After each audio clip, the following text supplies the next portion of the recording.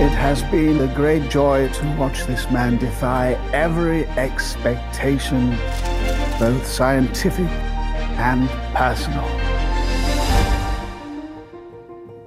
I think before we started filming, I spent maybe three or four hours with Stephen.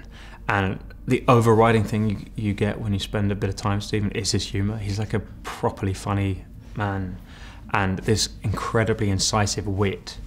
Um, and, and so that was something that I, I mean, I barely laughed. I kind of left with kind of sore tummy muscles after um, spending time with him. So it was something I tried to bring into the film. When I was sent the screenplay, I was under the impression it would be a biography of Stephen Hawking, his life and scientific career. So was surprised and, and excited by the idea of, of being about uh, his relationship, his first marriage. So it's more of a love story than a, a biopic, if you like. And so that really drew me to the material, and I liked the strong female point of view on his life and work, and the fact that in the film we have two you know, equal parties in this relationship, as, as in most relationships, it should be that way, I guess. So that, that was interesting and, and made me very intrigued to see how this would work out on screen. It's Olivia Lloyd with a hands down.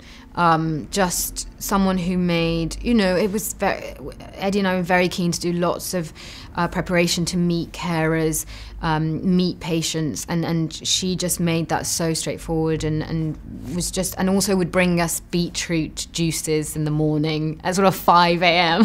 when you're halfway through shooting and you've lost the will to live. Um, and yeah, just incredible, incredible. Two Olivias um, Olivia, the second AD, and Olivia, who was the runner, who Olivia, the second AD, would make because I wasn't, I was had to not eat very much for filming because Stephen gets quite um, malnourished or, or thin um, when the disease comes in. So she was making sure I was healthy by giving me these weird, slightly toxic juices every morning. Um, but um, also then Paul, who drove me, um, an amazing man called Paul Andrews, and he would see when I was really down. I remember one day when I was really um, struggling because I wasn't eating much. I turned back on my trailer and there was a Pizza Express pizza sitting in my. I've never been so happy. I think I almost kissed him. There should be no boundaries to human endeavor. However bad life may seem, while there is life, there is hope. Thank you. Sorry, did you say something?